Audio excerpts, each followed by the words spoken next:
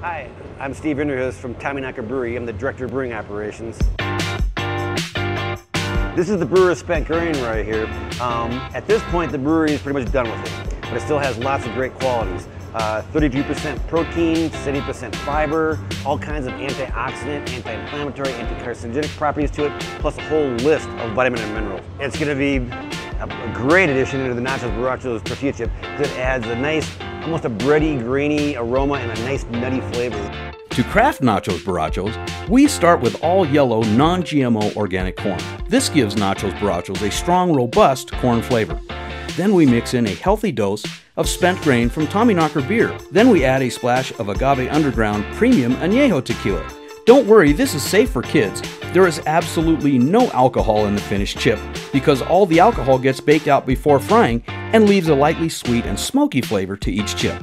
We wanted to make a fun, multi-grain chip with a nutritious twist that was hearty enough for serious dipping and mountainous nachos.